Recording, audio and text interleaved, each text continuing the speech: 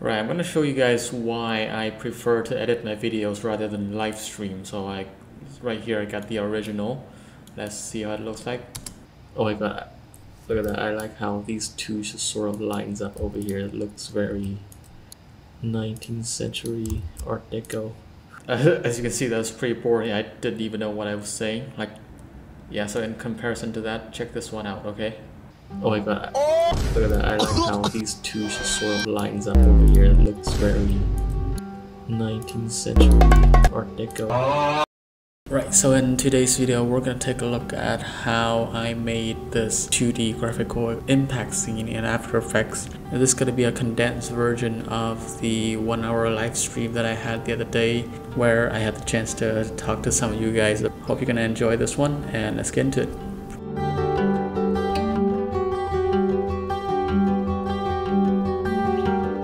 I started by creating a square and colored it with a really nice combination of red, purple and yellow. The square would then scale up as well as rotate with high intensity at the beginning and slow down at the 2 second mark.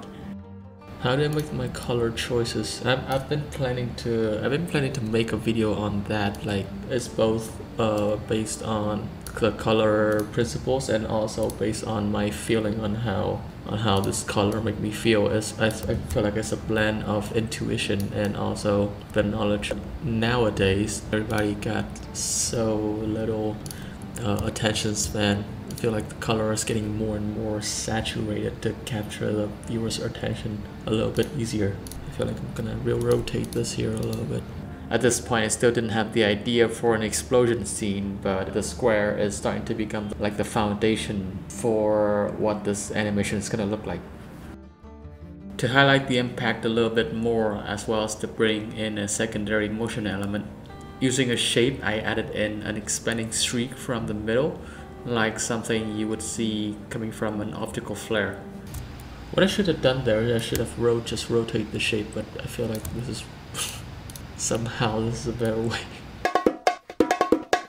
start this off really thick and as it get wider uh, and the horizontal side is gonna get progressively thinner what I'm trying to do is trying to achieve a motion graphic sort of uh, sort of impact I think one of the most important most important aspect of practicing your motion design is to create an impact scene It feels like it's a good exercise to get your creative juice going and trying to create a like a mumbo jumbo of uh, motion graphics inside of a scene. To make sure the flare speeds up and lingers for a while, uh, in the speed graph, I dropped the speed of its reveal phase to almost 0 pixel per second and slowly ease back up to its final phase, uh, which is where it will seemingly disappear over here we can slowly just fade it out so we don't get that thin little slice.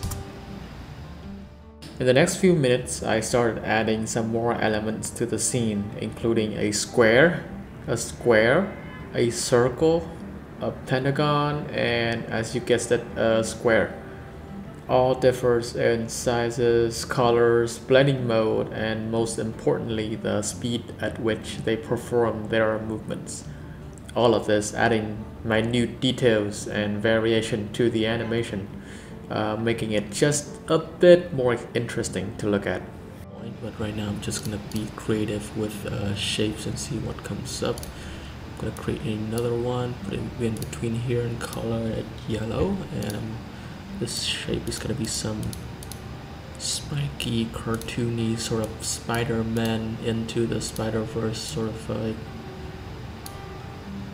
I gave this collision wave a pleasant baby blue followed by a subtle hint of milky white then animated this path so that it starts off small then takes the original shape as the explosion climaxes.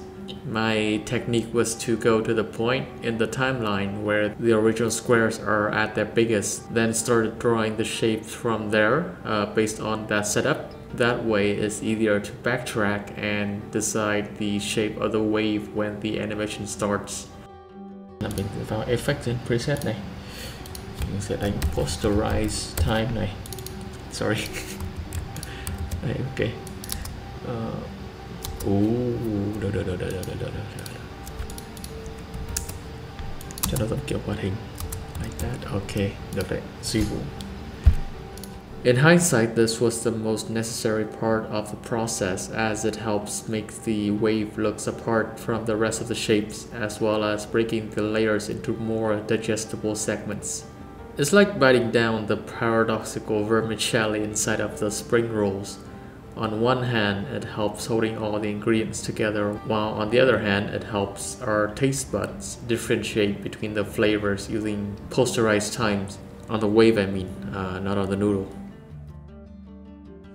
This looks so good.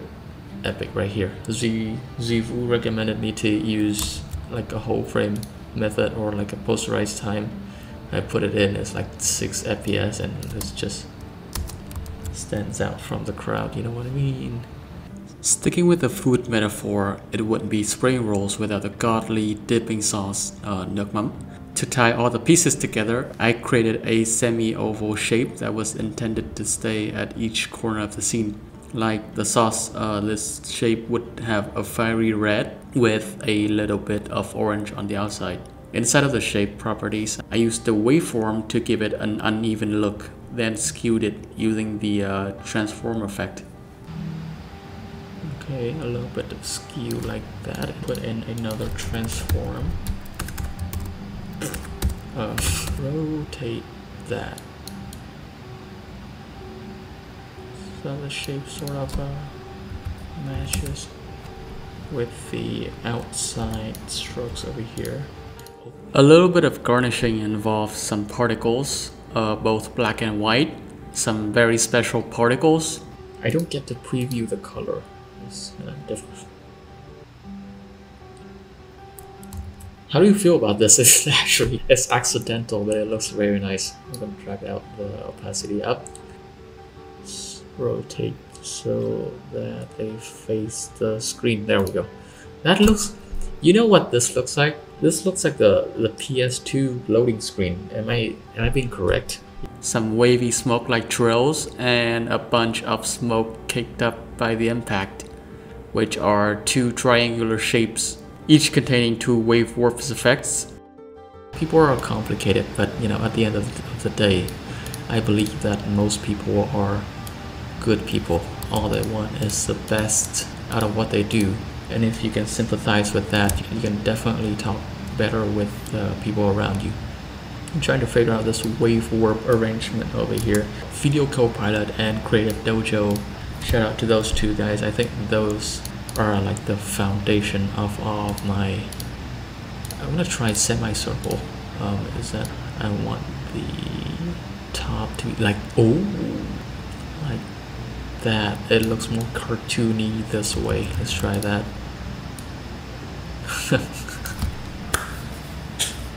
I like I like how fluffy it is. Um, oh yeah, um, Creative Dojo. And then I could move on to setting up the scene. Dramatic, kind of like when lightning strikes into the flash of light. Antonio GC, that's a good idea. I'm gonna try that. Yeah.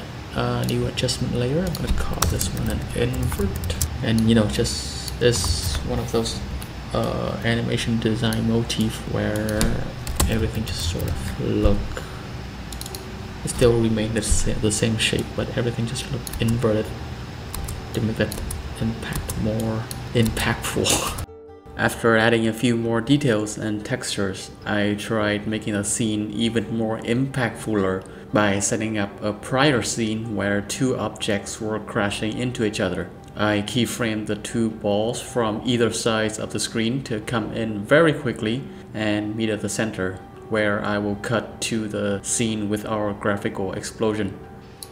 This one's gonna gradually speeds up over here until it reaches. that killing it with anti-black and then delay the explosion. Let's try that. That sounds sounds like a good idea.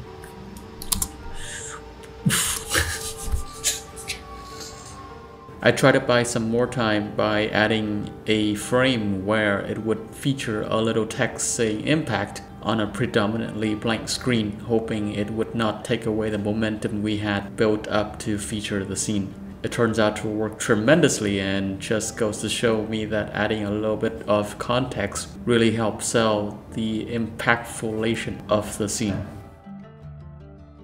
Guess this is where I'm gonna end it right now. I think we arrived at somewhere that I think is really good, looking really good right now. I'm gonna yeah, that was fun guys and thanks for tuning in, thanks for hanging out with me. Right, so after the stream ends, we got this nice little rendering of two objects coming into the scene and creating creating an impact. Personally, for me, I think it's one of the most accessible and one of the most immediate exercises you can do in After Effects if you're just starting out, um, is creating an impact scene.